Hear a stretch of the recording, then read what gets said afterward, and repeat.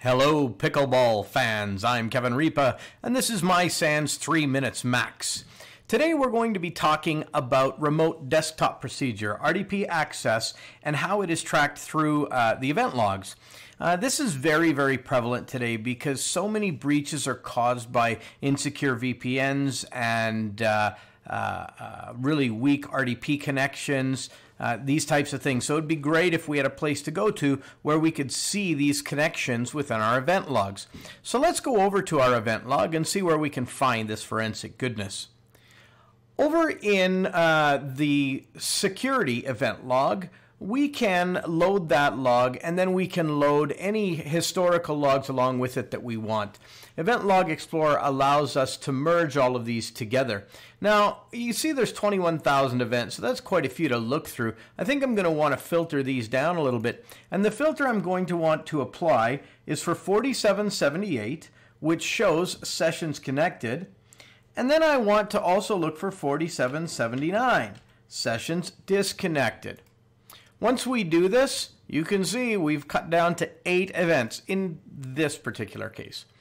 Now, we have usually a number on the connection, and I'll show you that in a moment. But first, I want to talk about this entry here, session name console. Now, typically, you should expect to see a 4778 having a 4779 that corresponds with it, an opening and a closing. In this case, we see one here. A console. Now, this console means that the system did it for whatever reason.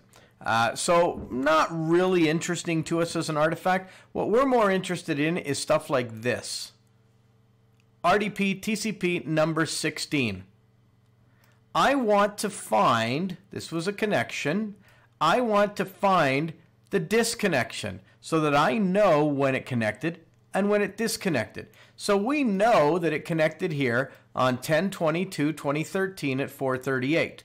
We're going to look for the corresponding disconnection. And how do we do that? Remember this logon ID we talked about before? Well, I can see it ends in CA73, and it's RDP TCP number 16. So I'm going to look for that.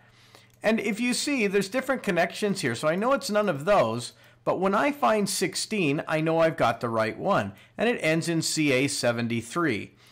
It came in, this connection was established from a computer named Jane Blake, from that IP address.